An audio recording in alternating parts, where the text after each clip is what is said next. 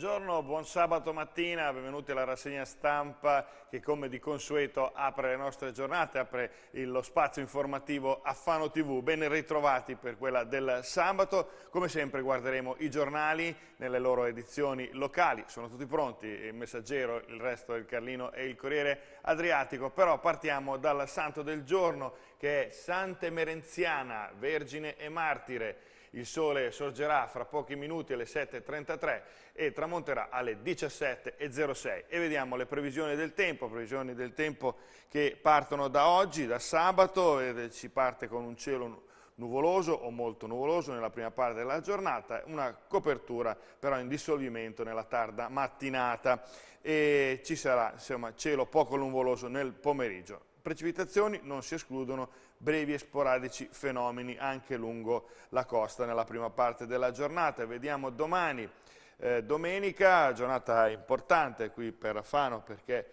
eh, c'è il primo corso mascherato e il cielo pare che sia anche eh, benevolo perché è parzialmente nuvoloso e il transito è segnalato mh, per qualche velatura, però non dovrebbe esserci alcuna precipitazione. Vediamo lunedì, inizio della settimana, si presenta con una bella cartina a sole pieno, cielo sereno, poco nuvoloso, nessuna precipitazione.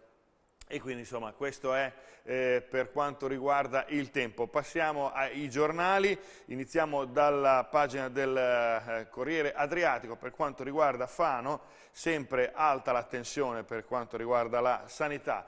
Interviene l'onorevole Lara Ricciatti che eh, dice si tolga Fosso 6 ore dalla discussione.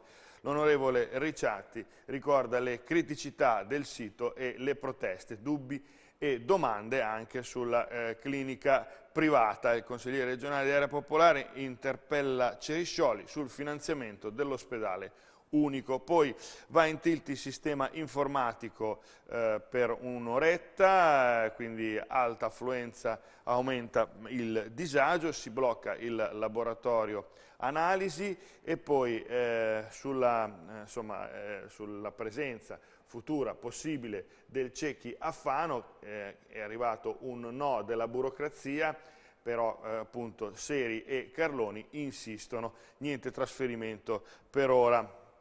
Continuiamo nelle pagine del eh, Corriere Adriatico perché si parla di carnevale, il maestro pasticcere Cesani ha presentato il suo dolce come di consueto che è un uh, tripudio di uh, fanesitudine eh, introdotto e riprodotto in ogni forma di cioccolato, i simboli della tradizione, c'è il brodetto, l'arco d'Augusto, il getto, insomma carnevale al via tra uh, goliardia e, e dolci eh, e oggi alle 16 c'è il palio degli uomini ignudi.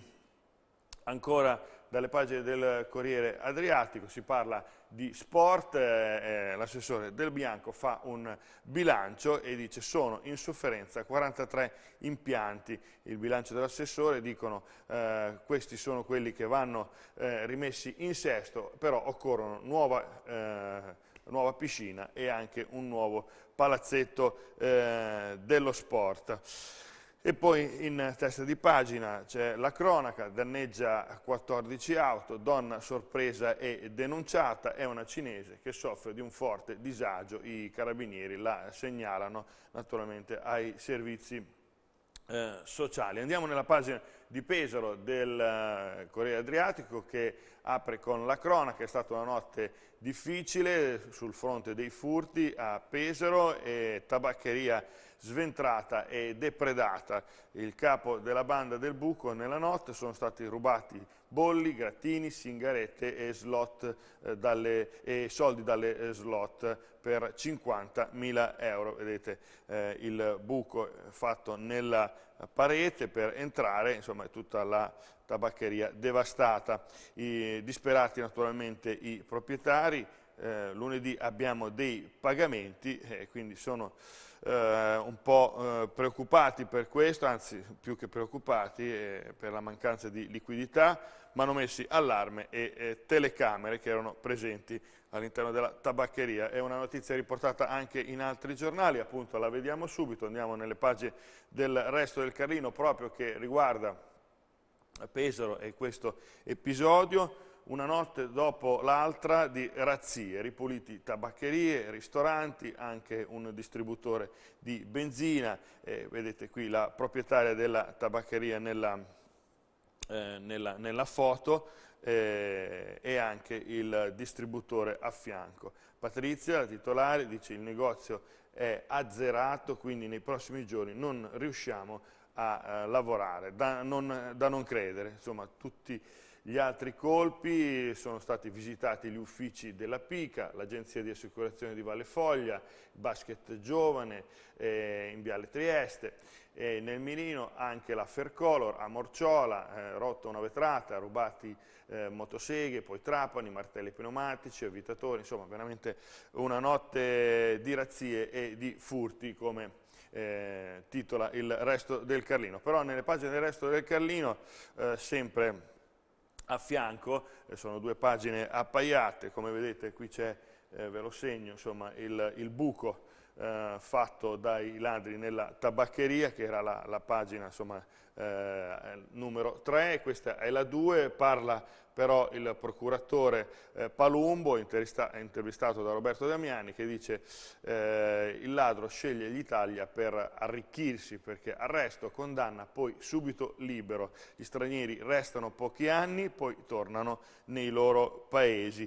Il rimedio, eh, dice l'unico, è fare come fanno all'estero, dove non c'è il cumulo delle sentenze, lì per ogni fatto corrisponde una pena e poi anche qui caso della Zingara, ha avuto mille condanne per furto, eh, dando nomi diversi, nessuno l'ha mai messa in carcere, così lei continua indisturbata. Insomma, leggete questa intervista al procuratore Palumbo, molto interessante sulle pagine del resto del Carlino. Continuiamo sempre in quelle che riguardano eh, Pesaro, perché si parla di Campanara, della fiera, eh, arriveranno dei privati, è in vendita, eh, a fine mese il bando pubblico, poi eh, l'affitto e arriva la Bricofer.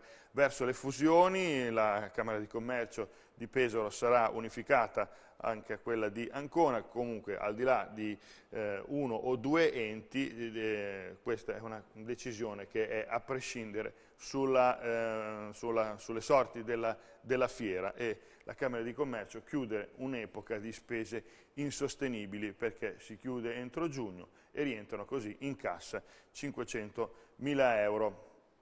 Andiamo nelle pagine del resto del Carlino di Fano che apre con il Carnevale, con un evento che riguarda appunto questa edizione 2016 del Carnevale che prende il via ufficialmente oggi pomeriggio con una rievocazione storica, possiamo dire, una rievocazione storica che sta destando qualche, eh, qualche lamentela da parte degli esponenti del gentil sesso. Eh, L'evento di oggi, che anticipa il carnevale, è il giorno degli uomini nudi. Il palio però scatena le femministe che dicono una goliardia inutile. La replica naturalmente è... E questa è una battaglia eh, sbagliata, insomma, ecco qui vedete il manifesto fatto da John, John Betty per proprio questa, questo evento così eh, rievocativo.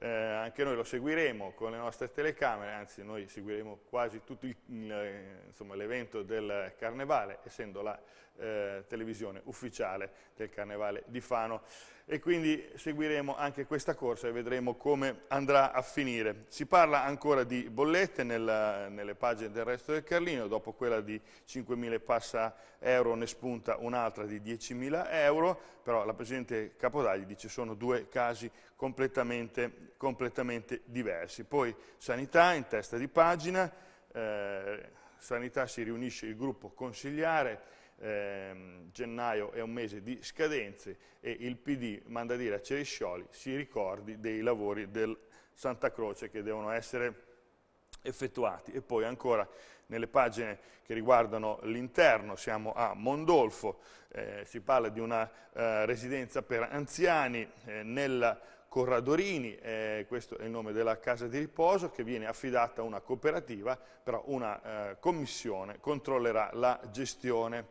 e quindi saranno attenzionati naturalmente nel loro operato. Vi faccio vedere l'ultima testata, parliamo del messaggero, parliamo della pagina eh, di apertura, Benelli è pronto a rinascere, il Benelli si parla dello stadio eh, di Pesaro, appaltati i lavori di ristrutturazione, l'obiettivo è terminare tutto entro l'anno.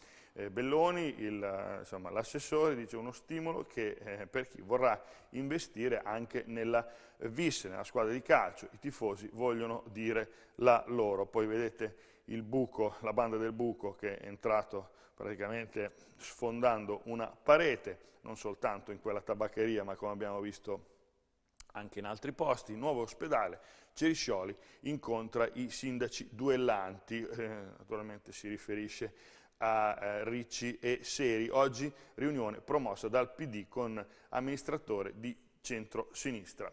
Ehm, vediamo cosa dice anche Massimiliano Fazzini per il tempo, che dice miglioramento eh, in arrivo e quindi insomma, eh, insomma c'è una buona una buona prospettiva per il tempo, lo abbiamo anche visto nelle previsioni eh, della eh, protezione civile. Notte di razzie, anche qui evidenziata questa notte così difficile sul fronte della, della cronaca dei furti nel Pesarese, in aziende e negozi, eh, preso di mira la zona Montelabate, nella tabaccheria ha fatto un bottino di 50.000 euro, anche sventrati un bar a Padiglione e il ristorante eh, Celù.